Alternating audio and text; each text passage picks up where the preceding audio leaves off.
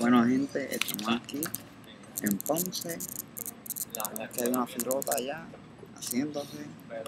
Están los de AT&T bregando en la espera de el iPhone G3. Bueno, vamos a ver si puedo subir un par de vídeos y un par de fotos.